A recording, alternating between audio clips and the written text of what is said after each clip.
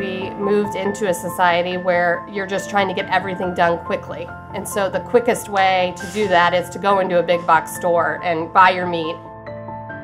The fact that each neighborhood doesn't have their own butcher shop, each neighborhood loses that culture. The idea of a, an old school local butcher is making that meal an event. If you want to buy cheap food, go to Walmart. If you want to buy quality food, you have to support the small butcher shop. Yeah, we're high school sweethearts, so we've known each other since the sixth grade.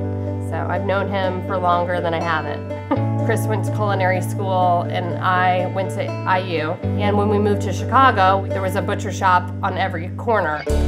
When we decided to move home, we wanted to open our own restaurant was the first idea. I had three business plans before I opened Goose the Market. So I finally came up with uh, butcher shop and you know really wanted to focus on the charcuterie.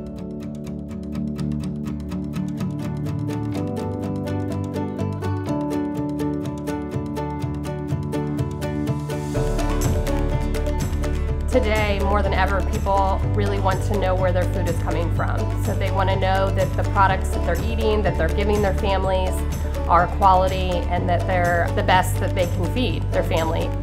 What I liked about Indianapolis was that there was room to like make a bigger impact. You need to, you know, have the relationships with all these farms.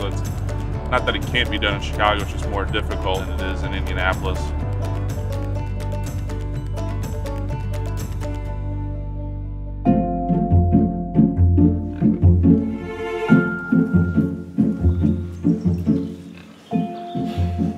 I've been here 10 years and from the farm at home I had the experience of how the clean food uh, farm to table movement had started. Uh, I took this job and uh, felt that I could help educate folks of where their food comes from. Good morning Chris. Good morning. Got a nice set of Ossabaw hogs here. How does the flavor different from that of a normal hog?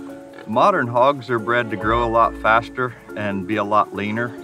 Uh, the flavor is in the, the, fat, as you well know, and so the uh, ability to take up new flavors in the fat is one thing this breed still has going for it. And that's really one of the best parts of my job is to pass the breed on to the next generation.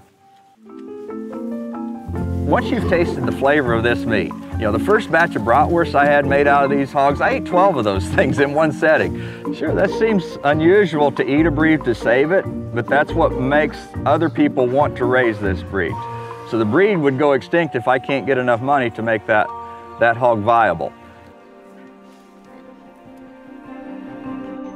I don't think either one of us could have ever imagined that the market and the smoking goose would have turned out the way they did. People thought we were crazy in 2007. I, I thought we were a little crazy too, but obviously the cities you know, supported that. We have shown that it can be done. And we don't have any intention of opening 20 of these in different neighborhoods. So it'll take other people. Wildwood markets come in, they've been great for Fountain Square. R2 Goes come in and Pogues Run on East 10th Street. The more that we have of these, uh, the more that people expect them and then that they'll come back around and support them. These small businesses will just continue to grow in each of the little neighborhoods. The community has just embraced us and really made sure that we're successful. It's just a really important part that the, the food movement is catching hold and really getting more and more momentum. And Indianapolis is ripe for it. And uh, thanks to folks like Chris and Smoking Goose, I see a real strong future for it.